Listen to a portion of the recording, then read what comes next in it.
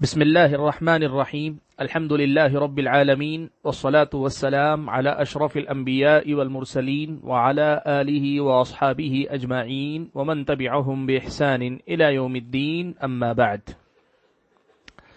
محترم حضرات اور خواتین اسلام،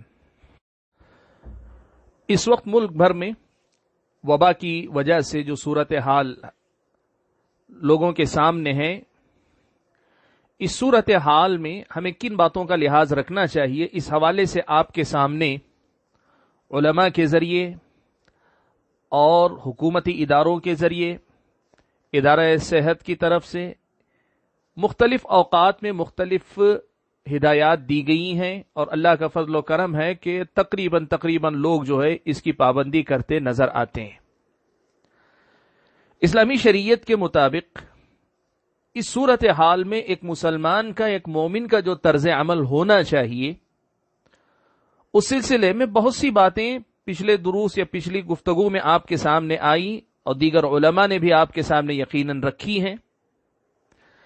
ان میں سے اکثر باتوں کا تعلق احتیاطی تدابیر اور میدان عمل سے متعلق روز مرہ کے معمولات سے متعلق اپنی زندگی کی ضروریات سے متعلق تھا کہ آپ کن حدود کے اندر اور کن باتوں کا خیال رکھتے ہوئے اپنی ضرورتوں کو پورا کریں۔ آج آپ حضرات اور خواتین کے سامنے میں ایک اور پہلو بھی سامنے لانا چاہتا ہوں، اور وہ پہلو ہے دعاؤں کا۔ یہ بات یاد رکھیں کہ ایک مسلمان کو اللہ تبارک و تعالی ان حالات میں جن تعلیمات کا پابند دیکھنا چاہتا ہے، اس میں سب سے پہلے تو توکل ہے۔ توکل کا مطلب یہ ہے کہ آپ اس ایمان اور یقین پر اپنے آپ کو ثابت قدم رکھیں کہ اللہ تبارک و تعالی کی مرضی سے ہوا جو کچھ ہوا ہے، اور اللہ کی مرضی ہی سے ہوگا جو کچھ ہوگا، اور اللہ ہی کی مرضی سے ہمیں شفا اور حفاظت بھی ملے گی، اور اللہ ہی کے مرضی سے اس مصیبت کا خاتمہ اس دنیا سے ہوگا۔ اس لیے اللہ پر توکل ہو، اللہ پر ایمان ہو، اللہ پر یقین ہو، خوف کسی چیز کا ہمارے دل کے اندر نہ آنے پائے، یہ بنیاد ہے۔ لیکن اسلام یہ کہتا ہے کہ توکل اور ایمان کی اس کیفیت کے ساتھ ساتھ آپ کو اسباب بھی اختیار کرنے چاہیے۔ اور اسباب کی جب بات آتی ہے تو یہ بات یاد رکھیں، سبب دو قسم کے ہوتے ہیں۔ دنیا کے اندر اللہ تعالی نے آپ کے نفع کے جو اسباب رکھے ہیں اور نقصان سے بچنے کے جو اسباب رکھے ہیں، دونوں کے دونوں، نفع حاصل کرنے کے اسباب یا نقصان سے بچنے کے جو اسباب ہیں، وہ دو قسم کے ہوتے ہیں۔ ایک کونی اور قدری اسباب جس کو ہم جو ہے دنیاوی اسباب کہتے ہیں جیسے اس صورت حال میں آپ کو ہدایت دی گئی ہے کہ آپ اپنے اپنے گھروں تک محدود رکھیں خود کو۔ آپ لوگوں سے میل جول کم کریں۔ اگر باہر نکلتے ہیں تو ماسک پہنیں۔ اپنے ہاتھوں پر دستانے بھی اگر ممکن ہو تو پہنے مختصر یہ کہ اس جراثیم کو منتقل کرنے کے جو اسباب ہو سکتے ہیں، ان سے بچانے کے جو بھی ذرائع ہو سکتے ہیں، ان سے پرہیز کریں۔ یہ دنیاوی اسباب ہیں۔ لیکن اسباب کی دنیا میں ایک اور بھی پہلو ہے جسے ہم شرعی سبب کہتے ہیں، شرعی اسباب کہتے ہیں۔ اور شرعی اسباب کا سیدھا مطلب سب سے پہلے ایمان اور توکل کے بعد اگر کوئی چیز اس میں آ سکتی ہے تو وہ نبی علیہ السلاۃ والسلام کی سکھائی ہوئی دعائیں ہیں۔ مصنون دعائیں ہیں جو نبی علیہ السلاۃ والسلام نے سکھائی ہیں۔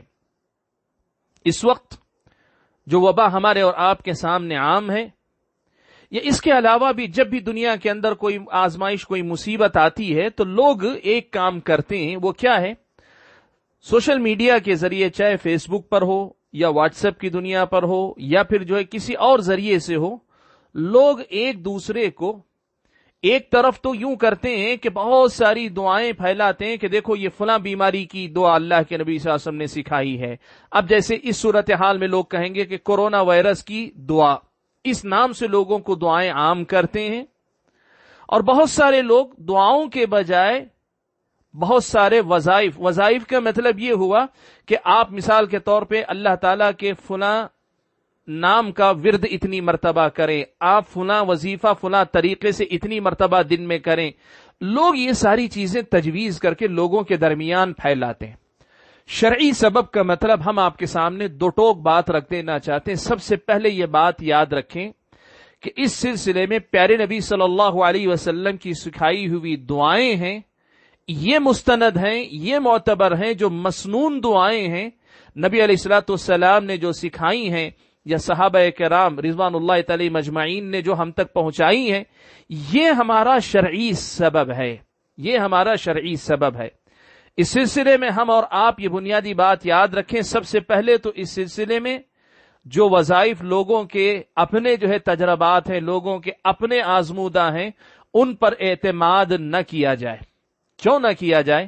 اس لیے کہ شریعت اسلامیہ نے یہ بات خاص طور پر ملحوظ رکھی ہے کہ انسانی ضرورتوں کے حساب سے جو جو دعائیں ضروری ہو سکتی تھیں، وہ ساری دعائیں نبی علیہ السلاۃ والسلام نے سکھلائی ہیں۔ میں بھی آپ کے سامنے اس کی تفصیل رکھنے جا رہا ہوں۔ وہ دعائیں اللہ کے نبی صلی اللہ علیہ وسلم نے سکھلائی ہیں۔ پیارے نبی صلی اللہ علیہ وسلم کی سکھلائی ہوئی دعاؤں کے ہوتے ہوئے کسی کے وظائف، کسی کے تجربات، کسی کے اپنے طے کردہ نسخے، کسی کے اپنے طے کردہ ہوا، اپنے جو ہے مراقبے اور اپنے خواب سے نکالے گئے وظائف۔ یہ ساری چیزیں عام کرنا ایک طرح سے سنت کو چھوڑ کر اس سے دوسری غیر مستند چیزوں کی طرف جانے والی بات ہوگی ہمارے سماج کے ایک عجیب معاملہ ہے۔ کہ دین کے نام پر آج بھی یہ لوگ ذرائع اختیار کرتے ہیں، تو آج بھی پیارے نبی صلی اللہ علیہ وسلم کی سکھائی مصنون دعاؤں سے لوگوں کی دوری ہے۔ آج بھی دین کے نام پر بھی ایسی چیزوں سے جڑی جڑے رہتے ہیں، جڑتے رہیں جو چیزیں ظاہر میں دین نظر آتی حقیقت میں دین سے ان کا رشتہ نہیں ہے یا کم ہے۔ اس لیے سب سے پہلی بات یاد رکھیے کہ بے سند وظیفے یعنی وہ چیزیں جن کو ایک وظیفے کے طور پہ پیش کیا جا رہا ہے، لیکن اس کا کوئی حوالہ ہی نہیں ہے سرے سے۔ یہ حوالہ دیا جا رہا ہے، لیکن وہ پیارے نبی صلی اللہ علیہ وسلم کا سکھایا ہوا نہیں۔ کسی بزرگ کا، کسی عالم کا، کسی شیخ کا، کسی حضرت کا، کسی مولانا کا، یا کسی پیر صاحب کا، کسی فقیر صاحب کا، یا کسی جو ہے بزرگ کا، یا کسی بڑے کا، کسی چھوٹے کا، جو بھی ہوگا۔ آپ یہ بات دیکھیں یہ کتنی محرومی کی بات ہوگی کہ ہم نبی علیہ السلام کی سکھائی ہوئی دعاؤں کی طرف توجہ نہ دے کر اس قسم کی چیزوں میں اپنے آپ کو مشغول رکھیں۔ یہ پہلی بات کہ بے سند وظائف سے اپنے آپ کو دور رکھیے۔ شرعی سبب وہ ہے جو شریعت کا سکھایا ہوا ہو اور شریعت کے سکھائے ہوئے اسباب سے مراد پیارے نبی صلی اللہ علیہ وسلم کی سکھائی ہوئی دعائیں ہیں۔ دوسری بات جو اس سلسلے میں ہم اور آپ کو یاد رکھنی چاہیے وہ یہ کہ دعاؤں میں بہت ساری دعائیں عام ہیں جن کا پیارے نبی صلی اللہ علیہ وسلم سے صحیح سند سے ثبوت نہیں ملتا ہے۔ یہ بات یاد رکھیں، دعا کے جو الفاظ جن کا معنی صحیح ہو، آپ ان کے ذریعے دعا کر سکتے ہیں، عام دعا کے طور پہ کر سکتے ہیں۔ یعنی کوئی بھی ایسے الفاظ جن کا معنی و مطلب صحیح ہو، آپ دعا کے طور پہ کرنا چاہتے ہیں، کر سکتے ہیں۔ ایسے ہی جو روایتیں ثابت نہیں ہیں، جن حدیثوں کی سندیں ضعیف ہیں، جو ثابت نہیں اللہ کے نبی صلی اللہ علیہ وسلم سے، ان دعاؤں کی حیثیت بھی عام دعائیہ کلمات کی ہے کہ جو آدمی اپنے الفاظ میں بھی کرتا ہے، کر سکتا ہے، کوئی حرج نہیں ہے اس میں۔ لیکن دو باتوں کا خیال رکھیں۔ ایک بات یہ کہ جو چیزیں ثابت نہیں ہیں، ان کو نبی علیہ السلاۃ والسلام کی ثابت شدہ دعا کے طور پہ لوگوں میں متعارف کروانا لوگوں میں اسے یوں بتانا کہ اللہ کے ربی وسلم کی سکھائی ہوئی یہ دعا ہے، جبکہ وہ ثابت نہیں ہے، یہ غلط ہو جاتا ہے۔ اور دوسرا مسئلہ یہ ہو جاتا ہے کہ ایک عام دعا آدمی اپنے طور پہ کرتا ہے تو بالکل کر سکتا ہے۔ میں اپنی زبان میں، اپنے الفاظ میں جس طرح کر سکتا ہوں، اگر وہ الفاظ کسی غلط مفہوم سے خالی ہیں، صحیح معنی و مطلب رکھتے ہیں، تو دعا میں پڑھنے میں کوئی حرج نہیں ہوتا۔ لیکن اسے یہ کہہ کر پیش کرنا کہ یہ فلاں بیماری کے علاج کے لیے نبی علیہ السلاۃ والسلام نے سکھائی ہے یا ہم اپنے طور پر ہی طے کریں کہ یہ فلاں بیماری کے لیے دعا ہے، ایسا نہیں ہونا چاہیے کہ شرعی سبب متعین کرنے کا اختیار ہمارے پاس نہیں ہم اور آپ نہیں طے کر سکتے کہ کس بیماری کے لیے کیا دعا کی جائے۔ یہ طے کرنا نبی علیہ السلاۃ والسلام کا، اللہ تعالیٰ کی ہدایت، اللہ تعالیٰ کے حکم کے مطابق پیارے نبی صلی اللہ علیہ وسلم کا کام۔ ہم اپنے طور پر کیسے یہ طے کر سکتے ہیں کہ یہ فلاں بیماری کے لیے فلاں دعا ہے؟ ایسا طے کرنا ہمارے بس کی بات نہیں، ہمارے اختیار سے باہر کی چیز ہے۔ اسلام نے ہمیں اس کی اجازت نہیں دی۔ تو یہ جو دوسری بات ہے، یہ زیادہ اہم اس حیثیت سے ہے کہ جن جو باتیں جو حدیث نبی علیہ السلاۃ والسلام سے ثابت نہ ہوں، ان باتوں کو نبی علیہ السلاۃ والسلام کی طرف منسوب کرنا غلط ہے۔ اور دوسری اس سے بڑی خرابی یہ ہے کہ آپ اسے کسی بیماری کی دعا کے طور پہ خاص کر کے پیش کریں، اس کا اختیار آپ کو اور مجھ کو نہیں۔ ہم کیسے طے کر سکتے ہیں؟ وہ تو آپ ڈاکٹر کی حیثیت سے اگر بیماری کی پہچان رکھتے ہیں اور اس کے مطابق آپ کو دوائی پتا ہے تو آپ بتا سکتے ہیں کہ اس بیماری کے لیے یہ دوا مفید ہو سکتی ہے اللہ کے حکم سے۔ لیکن دعائیں جہاں تک ہیں، دعا عبادت ہے۔ دوا جو ہے، معاملات ہیں۔ دعا عبادت ہے۔ معاملات میں آپ کو اپنے طور پر جو ہے حلال و حرام کی حدود کا لحاظ رکھتے ہوئے متعین کرنے کا اختیار ہے کہ اس بیماری کے لیے یہ دوا ہو سکتی ہے۔ لیکن عبادت میں یہ اختیار نہیں ہوتا کہ آپ اپنے طور پہ یہ طے کریں کہ فلاں بیماری کے لیے فلاں دعا پڑی جائے۔ اپنی طرف سے متعین کرنے والی غلطی ہم نہیں کر سکتے۔ تو یہ بات یاد رکھیں جو چیز نبی علیہ السلاۃ والسلام سے ثابت نہ ہو جو صنعت کے اعتبار سے کمزور ہو، ایسی دعائیں آپ عام دعائیا کلمات کے طور پر پڑھیے، اس کی چھوٹ ہے، اجازت ہے آپ کو۔ لیکن اللہ کی طرف اللہ کے نبی صلی اللہ علیہ وسلم کی طرف، دین کی طرف منسوب کرنا اور دوسرے نمبر پر اللہ کے نبی صلی اللہ علیہ وسلم نے متعین نہ کیا ہو، لیکن آپ اپنے طور پر متعین کر کے کہیں یہ فلاں بیماری کے لیے دعا ہے، اس کی اجازت آپ کو نہیں ہے۔ یہ دو بنیادی باتیں اگر ہمارے سامنے ہیں، بے سند وظیفے یا وہ دعائیں جو اللہ کے نبی صلی اللہ علیہ وسلم سے ثابت نہ ہو، ان سے اگر پرہیز کرنا ہم سیکھ جائیں تو پھر ہم آئیں چلتے ہیں پیارے نبی صلی اللہ علیہ وسلم کی طرف۔ آپ صلی اللہ علیہ وسلم کی سیرت میں، آپ صلی اللہ علیہ وسلم سے روایت کردہ دعاؤں کے ذخیرے میں یقین مانے اتنی زیادہ وسعت ہے۔ اتنی جامع دعائیں ہیں، مسنون جو ثابت شدہ دعائیں ہیں، ان میں اتنی جامع دعائیں ہیں کہ ہماری اور آپ کی ہر ضرورت کے لیے وہ کافی ہو سکتی ہیں۔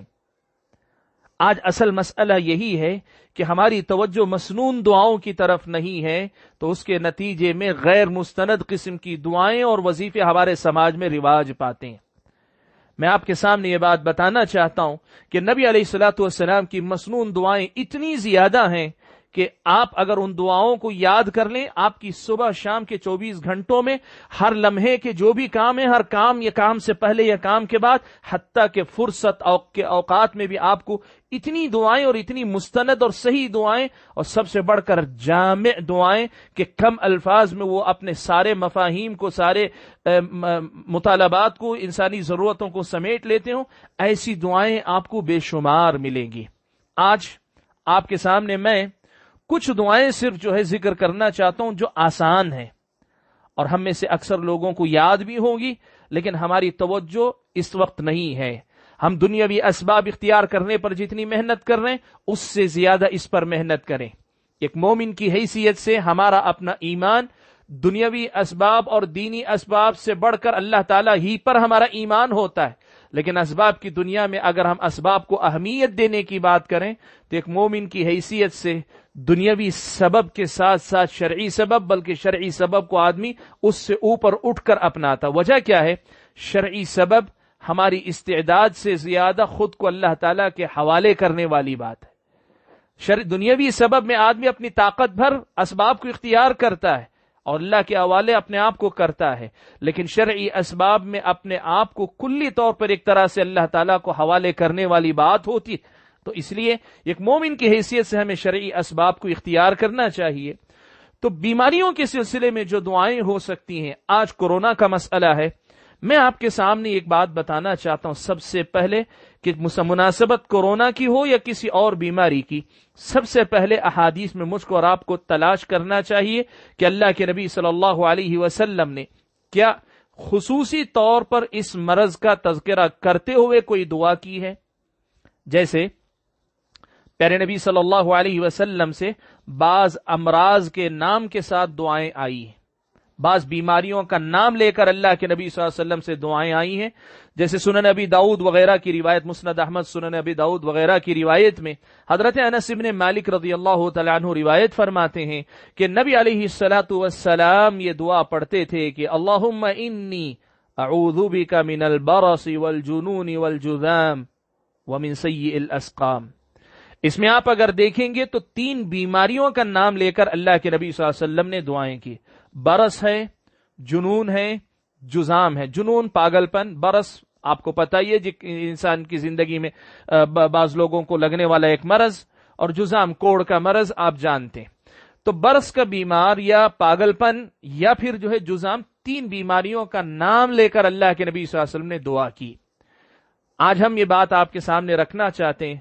جہاں تک ہم نے تلاش کرنے کی کوشش کی، پیارے نبی صلی اللہ علیہ وسلم سے اس مرض کے لیے خاص طور پر کورونا جیسے کسی کورونا جیسے مرض کے لیے خاص طور پر اللہ کے نبی صلی اللہ علیہ وسلم سے کوئی دعا ثابت نہیں۔ آئندہ بھی آپ ایک بات یاد رکھیں، کل کے دن بھی کوئی بیماری کسی بھی مرض کا تذکرہ آئے تو آپ یہ دیکھیں کیا اللہ کے نبی صلی اللہ علیہ وسلم نے خاص اس بیماری کے لیے کوئی دعا سکھلائی ہے؟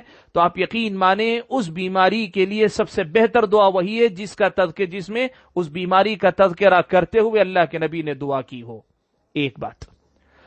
دوسرے نمبر پہ مسئلہ یہ ہوتا ہے کہ نبی علیہ السلاۃ والسلام کی کسی خاص بیماری کے بارے میں دعا ثابت نہ ہو تو پھر ہم ان دعاؤں کی طرف بھی دیکھیں گے جو دعائیں عام طور پر بیماریوں سے پناہ مانگنے کے لیے اللہ کے نبی صلی اللہ علیہ وسلم مانگتے تھے۔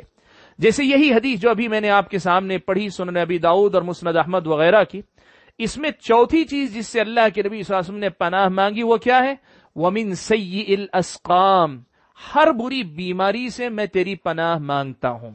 آپ یہ بات یاد رکھیں، نبی علیہ السلاۃ والسلام نے خود اپنی زندگی میں یہ بات صاف کی ہے۔ اللہ کے نبی نے کہا کہ قیامت کے قریب ایسی ایسی بیماریاں، جب زینا عام ہوگا، برائیاں عام ہوگی، تو اللہ کے نبی نے کہا کہ ایسی ایسی بیماریاں بھی عام ہوگی جو تم نے اب تک سنی بھی نہیں ہے جن کا تذکرہ بھی تمہارے سامنے نہیں آیا۔ تو اس کا مطلب یہ ہوا کہ کچھ ایسی بیماریاں بھی آئیں گی جن کے سلسلے میں خصوصی دعا ہو نہیں سکتی۔ یعنی اللہ کے نبی صلی اللہ علیہ وسلم نے خاص دعا نہیں سکھلائی اس بیماری کے نام سے۔ لیکن اللہ کے نبی صلی اللہ علیہ وسلم کی سکھائی ہوئی دعاؤں میں ایسے عام کلمات ہیں جو بیماریوں میں ہر قسم کی بیماری سے پناہ مانگنے والی ہیں۔ جیسے یہ دعا ہے، اللہ کے نبی صلی اللہ علیہ وسلم نے فرمایا، ومن سی الاسقام اللهم انی اعوذ بك من البرص والجنون والجذام ومن سیئ الاسقام یہ دوسرے نمبر پر دعا ہے کہ ہم اور آپ یہ دعا کریں۔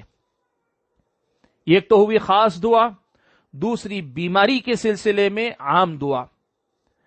یہ بھی نہ ہو، ہماری پریشانی، مصیبت، بیماری کی نہ ہو، یا جو مصیبت ہمارے سامنے آئی ہے، اس مصیبت کے سلسلے میں خاص یا عام دعا نہ ہو تو پھر تیسرے درجے میں پیارے نبی صلی اللہ علیہ وسلم کی سکھائی ہوئی۔ وہ دعائیں آتی ہیں جن دعاؤں میں اللہ کے نبی صلی اللہ علیہ وسلم نے ہر قسم کے شر سے، مطلق ہر قسم کے شر سے پناہ کی بات اللہ کے نبی صلی اللہ علیہ وسلم نے کہی ہے۔ یعنی وہ بیماری کے ساتھ خاص نہیں، تجارت میں نقصان کے ساتھ خاص نہیں، وہ جو ہے گھریلو گھر میں پریشانی، گھریلو پریشانیوں کے ساتھ خاص نہیں، وہ ملی قومی مسائل کے ساتھ خاص نہیں، بلکہ ہر قسم کے نقصان کو اپنے اندر سمیٹے ہوئے، جس میں اللہ کے نبی نے ہر قسم کے شر سے پناہ مانگنے کی بات کہی ہے۔ یہ تیسرے نمبر پر دعائیں آتی ہیں۔ یہ جو دعائیں ہیں، ایسی دعائیں بہت ساری ایسی دعائیں بہت ساری ہیں۔ اور ان دعاؤں میں سے میں آپ کے سامنے دو یا تین دعائیں آپ کے سامنے ذکر کر دوں۔ پیارے نبی صلی اللہ علیہ وسلم نے یہ بات بیان فرمائی۔ سنن نبی داؤ ترمیری ابن ماجہ وغیرہ کی روایت ہے۔ اللہ کے نبی صلی اللہ علیہ وسلم نے فرمایا کہ بسم اللہ الذي لا يضر مع اسمه شيء في الارض ولا في السماء وهو السميع العليم یہ دعا صبح میں تین مرتبہ کوئی بندہ پڑھ لیتا ہے۔ تو شام تک کوئی چیز اسے نقصان نہیں پہنچائے گی۔ اور شام میں اگر کوئی بندہ یہ پڑھ لیتا ہے تین مرتبہ، تو صبح تک اسے کوئی چیز نقصان نہیں پہنچائے گی۔ کتنی عظیم بات اللہ کے نبی نے سکھائی۔ بسم اللہ الذي لا يضر مع اسمه شيء في الارض ولا في السماء وهو السميع العليم دوسری دعا اللہ کے نبی صلی اللہ علیہ وسلم نے ایک بات بیان یہ سکھائی۔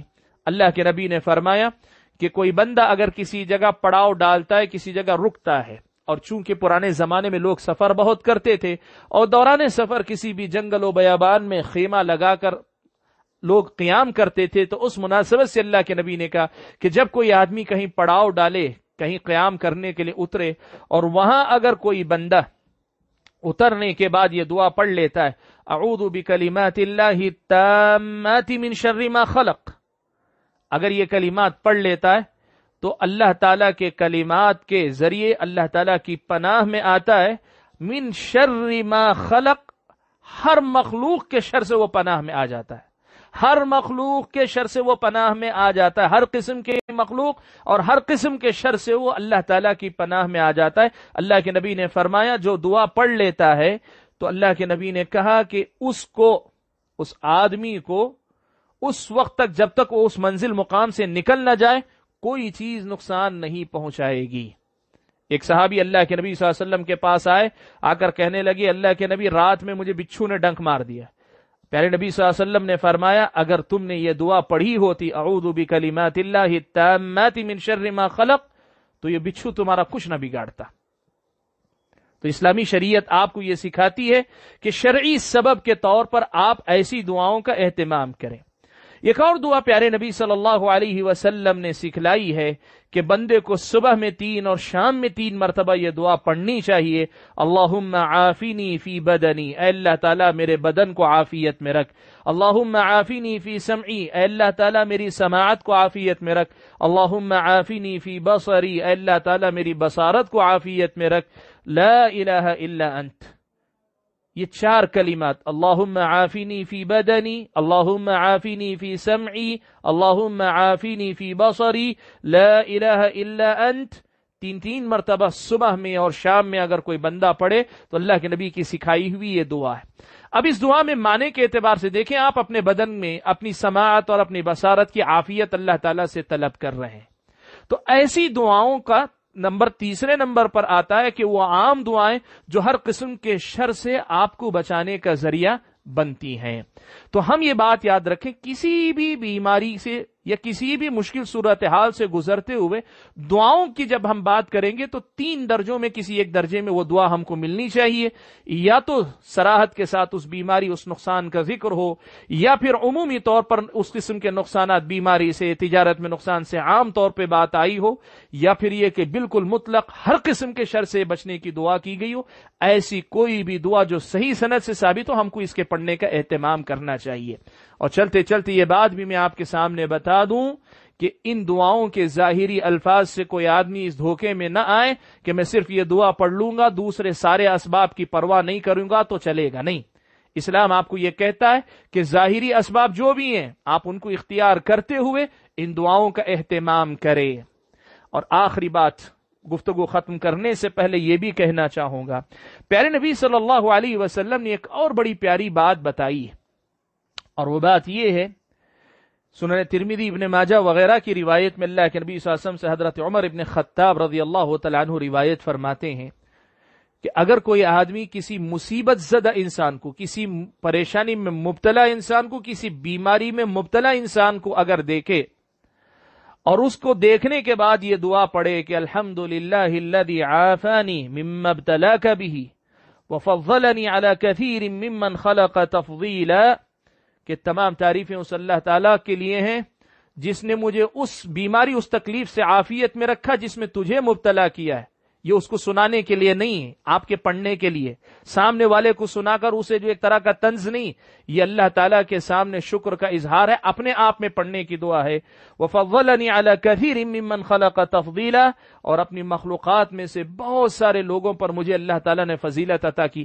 یہ دعا اگر کوئی پڑھ لیتا ہے، نبی علیہ السلاۃ السلام نے فرمایا کہ وہ جو سامنے والا جس بیماری میں مبتلا ہے اس بیماری سے آپ بچا لیے جائیں گے۔ جس تکلیف میں مبتلا ہے، اس تکلیف سے آپ محفوظ کر دیے جائیں گے۔ اس لیے ہمیشہ جب بھی کسی بیمار کو دیکھیں یا اس بیمار کا تذکرہ سنیں، تو آپ یہ دعا پڑھیں الحمد للہ عافانی آفانی ممبتلا کبھی وفضلنی علی کثیر ممن خلق تفضیلا۔ یہ دعا اگر ہم پڑھیں گے، تو ہمیں انشاءاللہ اللہ اللہ تعالیٰ اس قسم کی بیماریوں سے محفوظ رکھیں گے۔ تو آج کی اس گفتگو میں ذرا لمبی ہوئی گفتگو لیکن ضروری تھی کہ ہم اس بات کو یاد رکھیں، توکل اللہ پر ہوتا ہے۔ ہم قونی اور قدری دنیاوی سبب بھی اختیار کرتے ہیں کہ اللہ کا حکم ہے۔